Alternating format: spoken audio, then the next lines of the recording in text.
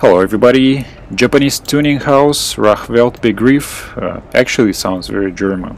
It is known for making body kits for Porsche, but this time the company decided to try the same kind of body kit uh, on this 2015 Volkswagen Beetle.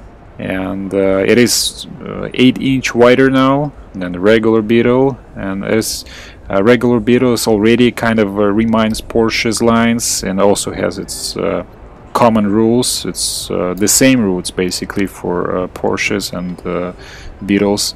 It looks very natural, almost unnoticeable. Those eight inches um, added by those custom set of fenders, and also has the wider racing wheels, which are 10 inch wide in front and 12 inches on back. In addition to that, there is uh, airline specific interior, as you can see here.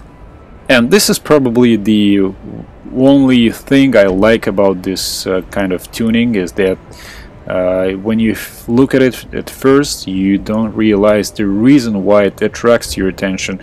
You realize that you see the wider wheels and the lower vehicle itself but the fact how it's done and also realization that the uh, fenders are wider here especially if you haven't looked at the Beetle for quite a while it's uh, it's very interesting uh, it's very uh, natural to this kind of model especially to 2015 uh, Volkswagen Beetle and uh, that's pretty much all I have for you today guys. I hope you enjoyed this video. Check out my channel for my other videos. Subscribe, share and like if you do. But for now, Thanks for watching and see you in the next one.